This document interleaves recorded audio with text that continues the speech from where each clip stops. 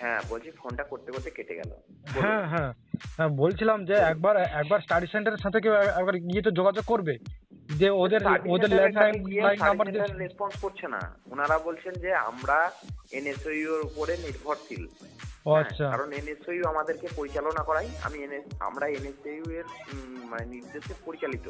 আচ্ছা আচ্ছা। এনএসইউ যে সিদ্ধান্ত নেবে আমি সেই সিদ্ধান্ত আমরাও সেই সিদ্ধান্ত সিদ্ধান্তের সিদ্ধান্ত নেব।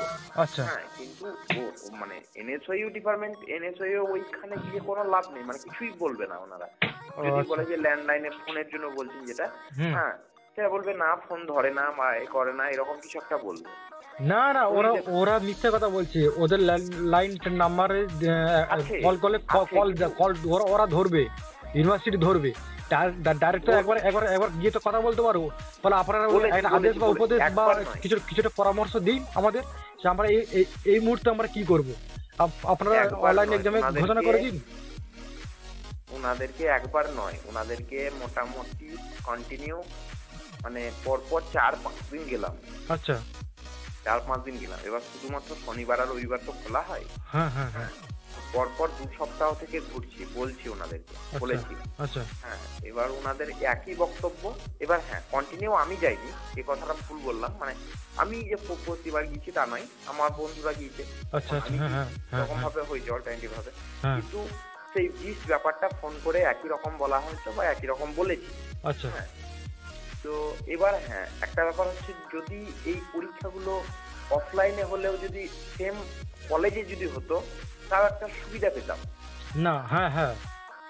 কিন্তু মানে হ্যাঁ সুবিধা পেতে কিন্তু তোমাদের তো সেন্টার তো অন্য সেন্টারে পড়বে পরীক্ষা তো। ওটাই তো ব্যাপার। হ্যাঁ। হ্যাঁ ওটাই তো সমস্যার ব্যাপার। এবার হ্যাঁ। আহ, সমস্যার ব্যাপার এই সেই কলেজের এমএসডব্লিউ স্টুডেন্ট তাদেরও সেম সমস্যা। হ্যাঁ হ্যাঁ হ্যাঁ হ্যাঁ বলো।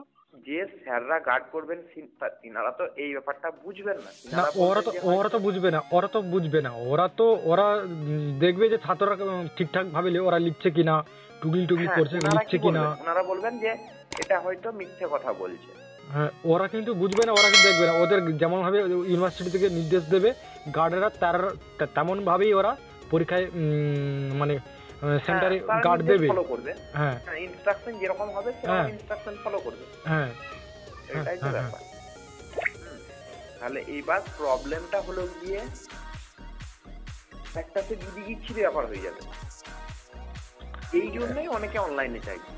আদার্স কিছুই হ্যাঁ এবার তোমাদের আমি একটা পরামর্শ দেব এবার তোমরা কি নিতে পারবে তারও আমি কিছু বুঝে উঠতে পারছি না। যদি ইউনিভার্সিটি অনলাইন যদি ইউনিভার্সিটি তো তোমাদের যে পরামর্শটা দেব, সেটা তোমাদের হয়তো আগের বছর এক্সাম দিতে যেতে হতে পারে।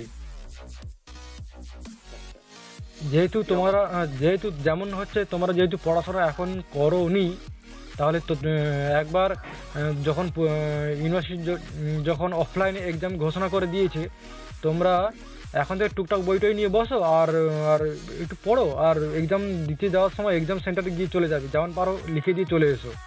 যেমন গার্ডের টাকা দিয়ে যাও যখন তোমরা এক্সাম ফর্ম ফিল আপ করেছ, তো টাকাটা তো এক্সাম দিতে না গেলে তো টাকাটা তো ফালতু নষ্ট হবে। হ্যাঁ এক্সাম তো তোমাদের দিতে যেতেই তো হবে। তোমাদের টাকাই কিন্তু ইউনিভার্সিটি চলছে। আর তোমাদের টাকাই কিন্তু এক্সাম সেন্টারের ব্যবস্থা করেছে। ইউনিভার্সিটি কিন্তু নিজের গাঁটের টাকায় এক্সাম সেন্টারের ব্যবস্থা করেনি তোমাদের টাকাই করেছে। হ্যাঁ এবার তো এবার তো সে সমস্ত টাকাগুলো তো উসুল করতে হবে না?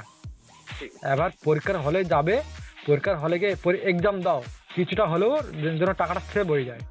যাও আর এক্সাম দাও। আর যেমন পারো লেখো আর লুজ নেওয়ার চেষ্টা করবে।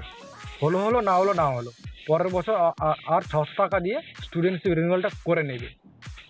ও করতে পারো আর পরের বছর এক্সাম দিতে বসতে হবে। এই এই পরামর্শ ছাড়া এই মুহূর্তে আর কোনো রাস্তা কিন্তু খোলা নেই। তা যুক্তিটা দিলাম কি পছন্দ হয়েছে তো? হ্যাঁ কি না? হ্যাঁ সে ঠিকই আছে। মানে আপনি যেটা বলেছেন খুব ভালো ব্যাপার একটা।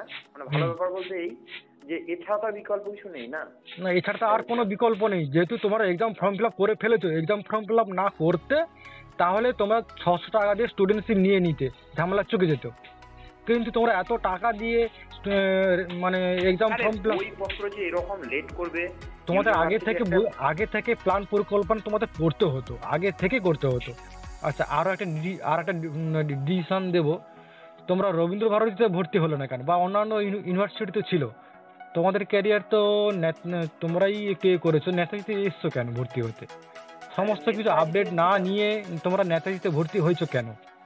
আচ্ছা ভর্তি হয়েছে সেটা সেটাই তো। এবার- দেখো নেতাজিতে ভর্তি হয়েছো। নেতাজি আবার এরকম করে তোমাদের একটা বছর ক্যারিয়ারটা নষ্ট করে দিল। আরও তো অন্যান্য ইউনিভার্সিটিরা ছিল। তো ওখানে তো ভর্তি হলে আপনারা যারা। নেতাজি সুভাষ মুক্ত বিশ্ববিদ্যালয়তে বিডিপি ও ইউজিতে হ্যাঁ, বিভিন্ন বিষয়ে কোর্স করে